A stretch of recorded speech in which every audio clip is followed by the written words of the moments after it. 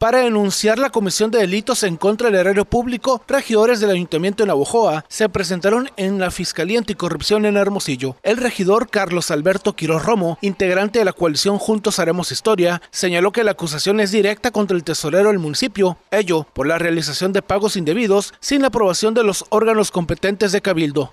La denuncia es contra quien resulte responsable por haber autorizado y estar pagando eh, facturas que no fueron debidamente validadas en el área de programación del gasto, lo cual por sí mismo, según la ley de gobierno de los reglamentos, es un delito.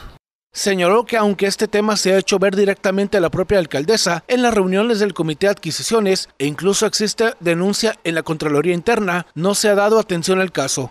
Lo que tenemos comprobado por documentos oficiales y es una información que tiene la Fiscalía desde el primer día que denunciamos el asunto, es que solamente en las primeras seis semanas existe un desfase de 1.700.000 pesos en el tema de gasolina solamente.